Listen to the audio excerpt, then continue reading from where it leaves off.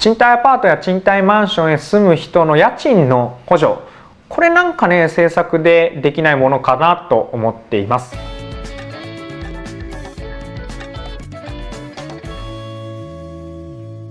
あのやっぱりこう若い世代まあ例えば大学生だったり働き出した20代30代40代ぐらいの人といろいろ話を聞いてると賃貸の家賃マンションだったりアパートなりの家賃ってまあ固定費じゃない。で結構大きな金額を占めるしでその固定費だから例えば収入が減ったりしてそこをギュッと縮めるわけにもいかないし例えば家族がいてお子さんの出費が増えたからって家賃をぐっと縮めるわけにもいかない。でも非常に住む場所っていうのは大事なところでまあ、住む場所がこう落ち着かないところとか帰りたくないような家だったりしたらやっぱり嫌じゃない。だから極力やっぱり住む場所っていうのは食べるものとかとはまた違っていい場所でなきゃ人の豊かさにならないなと僕は思ってるんですよ。まあ、と言いつつ別にそんなにね別に俺もじゃあ家の家具これがいいとか広さがこれがいいとかそんなにこだわりがあるわけじゃないけどまあ少なくとも自分としては納得してる場所に住む方がいいかなと思って。ますであの国の政策住む場所に関する政策を見た時に実はあの家を建てる人マイホームを建てる人に関してはマイホームローン減税っていう名前で、まあ、結局その税金をね安くするということなんかを含めて、まあ、ざっくり言えば家を建てると補助が入る。支援が入る。税金で。だから家を建てる人はよしと。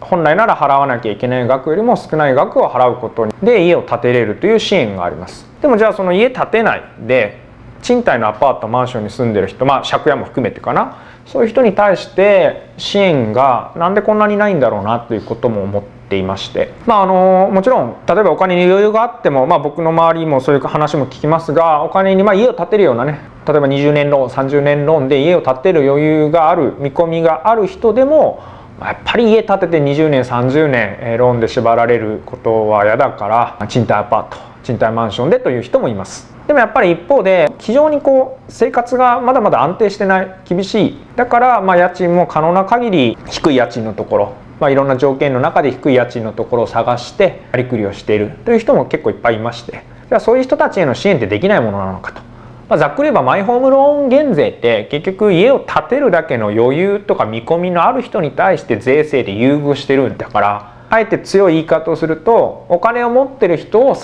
えてる政策だと僕は思ってます。マイホームローン減税。だからそれよりもでもやっぱり今この状況の中で本当に格差も広がってる。あるいは20代30代貯金もできない人だっていっぱいいる中でお金を持ってる家を建てれる人たちを優遇をし続けるのかまだまだ生活が不安定な人たちの生活の基盤となる住むところを支えるのか。これで言うと僕はやっぱり後者の住むところを支える。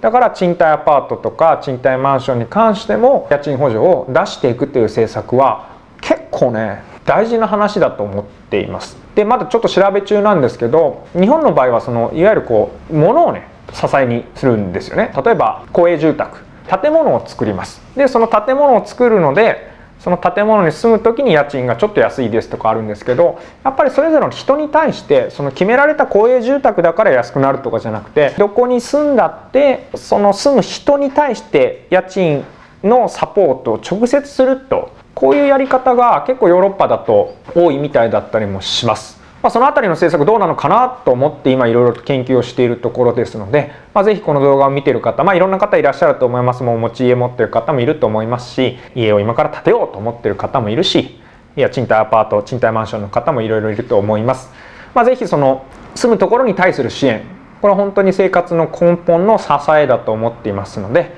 まあ、その辺りの政策の支えを何かしらできないものかと思って今研究をしておりますので是非とも皆さんからもいろんな意見聞きたいなと思ってるところです。はいということでまああのちょっと政策の僕のモヤモヤの話になるんですけど住むところへの支援という意味でマイホームローン減税じゃなくて賃貸アパート賃貸マンションに住む人への支援ということができないかなと思っております。ぜひとも皆さんのいろんなコメントなんかもお聞かせください。立憲民主党岡山県育支部長の原田健介でした。